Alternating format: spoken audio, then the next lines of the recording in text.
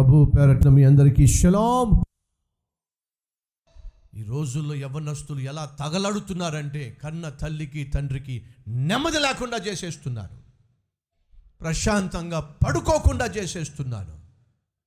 ఒకవేళ నువ్వు అలాంటి స్థితిలో ఉన్నట్లయితే ప్రభు పేరట మనం చేస్తున్నా నువ్వు చేసేటటువంటి పాపిష్టి పనుల వల్ల వేసేటటువంటి వేషాల వల్ల నీ తల్లి ఎవ్వరికీ చెప్పుకోలేక నీ తండ్రి ఎవ్వరికీ చెప్పుకోలేక లోపట లోపట కుళ్ళి కుళ్ళి కుళ్ళి ఏడుస్తున్నట్లయితే అది తమ్ముడో చెల్లే నీకు క్షేమము ఏమాత్రము కాదు. అప్షాలోమును బట్టి దావీది ఎంత ఏడ్చాడో తెలుసా? చెప్పులు కూడా వేసుకోకుండా రాజైనటువంటి దావీదు పిచ్చోళ్ళాగా తల కప్పుకొని పాదరక్షలు లేకుండా కాలినడకన ఏడ్చుకుంటూ ఒలివ కొండలకు వెళ్ళాడు. ఆ ఏడుపు చూసిన మిగిలిన వాళ్ళందరూ కూడా ఏడ్చుకుంటూ ఆ ఒలివ కొండకు పైకి వెళ్ళాడు. ఏమిటి దావీదు? రాక రాక నీకు కష్టం ఏమిటి? నీ కొడుకే నీకు వ్యతిరేకంగా తయారవటం ఏమిటి? ఆ కొడుకు ఏ రీతిగా దావీదుకు వ్యతిరేకంగా తయారయ్యాడో దావీదు యొక్క పక్కలో బల్యంగా తయారయ్యాడో ఆఖరికి ఏం జరిగిందో తెలుసా అండి? అప్షాలోము తన ఇష్టానుసారంగా జీవించడాన్ని బట్టి.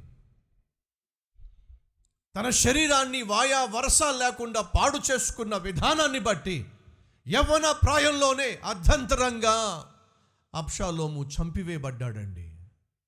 అర్ధంతరంగా తన యాత్ర మధ్యలోనే ముగిసిపోయిందండి. తమ్ముళ్ళు చెల్లెళ్ళు జాగ్రత్తగా వినండి.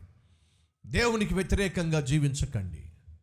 మీ తండ్రి తల్లి ఎంతో నిన్ను నమ్మే ప్రతి నెల నీ కాలేజీ ఫీజు డబ్బులు పంపిస్తూ నీకు ఏ లోటు లేకుండా ఏ కష్టము రాకుండా నిన్ను ఎంతో ప్రేమతో పోషిస్తూ వస్తున్నారు.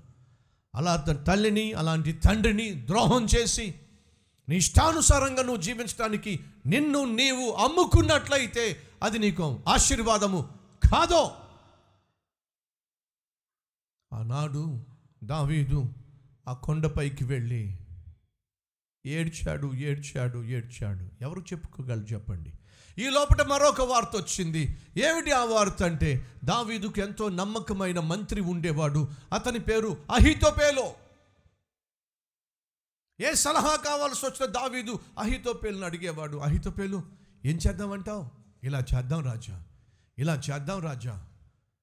దావీదుకు కుడి భుజముగా ఉన్నటువంటి అహితోపేలు కూడా దావీదును విడిచిపెట్టేసి దావీదుకు వ్యతిరేకంగా అఘోరిస్తున్న వ్యవహరిస్తున్న అప్షాలం పక్కకి వెళ్ళిపోయాడండి. ఒకవైపు దావీదు పక్కలో బల్లెంగా తయారవుతూ ఉంటే నమ్మకంగా ఉన్న మంత్రి కూడా వెళ్ళి అప్షాలోం పక్షం నిలబడి వెళ్ళో మీ నాన్నను చంపేసేయి.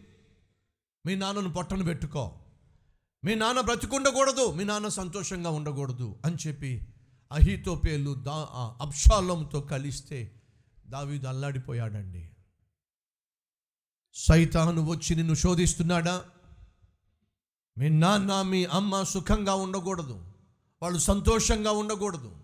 నీ భర్త సుఖంగా సంతోషంగా ఉండకూడదు. నీ భార్య సంతోషంగా సుఖంగా ఉండకూడదు. వెళ్ళో. నెమ్మది లేకుండా చెయ్యి. సైతాను శోధిస్తున్నాడా? వెళ్ళో. మనిషికి ప్రశాంతత లేకుండా చెయ్యి. మనిషిని నిద్రపోకుండా చెయ్యి. ఏదో ఒకటి చేసి మనిషికి నరకం చూపించు అని చెప్పి ఏ భార్యనైనా ఏ భర్తనైనా ఏ కొడుకునైనా ఏ కూతురునైనా సైతాను ప్రేరేపించి ఇంటిలో నరకాన్ని సృష్టిస్తున్నాడా? వినండి. అప్షాలోము ఒకవైపు దావీదుకు వ్యతిరేకంగా తయారైతే పక్కనే అహితోపేలు వెళ్ళి చేరి అహితోపేలు వెళ్ళి చేరి అంటున్నాడు వెళ్ళో! మీ నాన్నను చంపేసేయి. కావాలంటే దానికి తగినటువంటి యుద్ధ ప్రణాళిక నేను ఇస్తాను నీకు అని చెప్పి అహితోపేలు చేరినప్పుడు ఆ కొండపైన దావీదు ఏడుస్తూ ఏడుస్తూ అలా ఏడుస్తూ ఏడుస్తూనే అదే ఒలివ కొండపైన దావీదు ప్రార్థన చేశాడండి. అయ్యా నా కొడుకు నాకు వ్యతిరేకంగా కుట్ర చేస్తే వాడిని శిక్షించమని నేను అడగలేను. వాడికి ఏమీ కాకూడదని చెప్పి నేను ఆశిస్తున్నాను కాబట్టి వాడి చేతిలో పడకుండా పారిపోయి వచ్చేస్తున్నాను.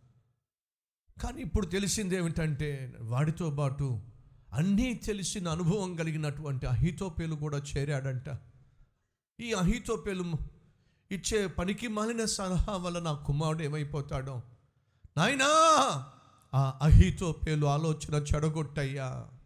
ఈరోజు మీ జీవితాల్లో ఎవరైనా అహితోపేలు లాంటి వాళ్ళు ఉన్నారా మీ కుటుంబాలను చెడగొట్టాలని మీ కుటుంబాలని విడగొట్టాలని నీ భర్తను నీకు దూరం చేయాలని నీ భార్యను నీకు దూరం చేయాలని ప్రశాంతంగా నువ్వు చేస్తున్న ఉద్యోగం నీకు దూరం చేయాలని కలిగి ఉన్నటువంటి ఆ చిన్న కొట్టును కలిగి ఉన్నటువంటి ఆ చిన్న వ్యాపారాన్ని మూసివేయాలని నువ్వు చేసుకుంటున్న పనిని నీకు కాకుండా చేయాలని లాభం లాకుండా రాకుండా చేయాలని ఎవరైనా కుట్ర పన్నుతున్నారా? అహితో పెలువలే నీకు నిద్ర పట్టకుండా నెమ్మది లేకుండా చేస్తున్నారా? అయితే నువ్వేం చేయాలి ఒలి ఇవ్వకుండా పైన ఏడవాలి. ప్రార్థన చేయాలి మహాపరిశుద్ధుడు అయిన ప్రేమ కలిగిన తండ్రి దావీదు కుమారుడు దావీదు గుండెలను గాయపరిచాడు. ఆ దుఃఖాన్ని తట్టుకోలేకపోయాడు. నీ కుమారులమైన కుమార్తెలమైనా మేము నిన్ను గాయపరిస్తే నువ్వు ఎలా తట్టుకోగలవు నాయన? నిన్ను గాయపరిచేవారిగా కాక నిన్ను సంతోషపరిచే కుమారులుగా కుమార్తెలుగా జీవించే భాగ్యం మాకు దయచేయండి.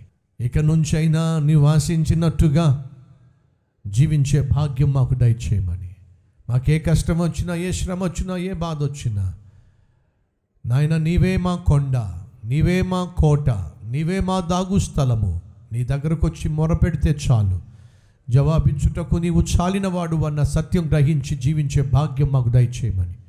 ఏసునామం పేరట వేడుకుంటున్నాం తండ్రి. ఆమెన్.